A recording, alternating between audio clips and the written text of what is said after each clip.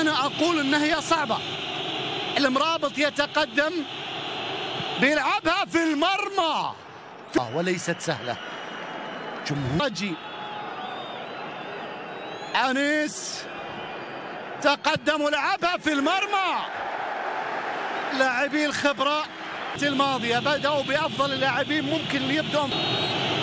صبر بيلعبها في المرمى. يسجل. في الركلة كوامي في المرمى. ممتازة ممتازة.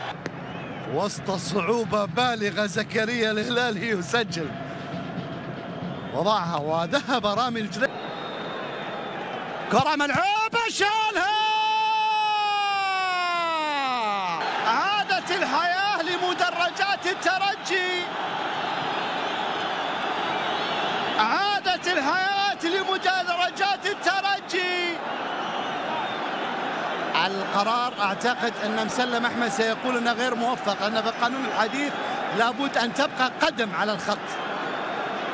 لابد أن تبقى قدم على الخط.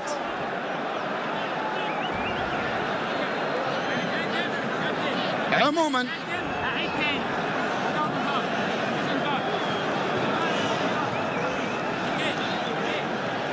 سيوضحها الكابتن مسلم أحمد بشكل أوضح. للترجي. تقدم. ولعبه حمزة. حمزة في المرمى. الفريق على حساب الترجي؟ ركلة. ملعوبة.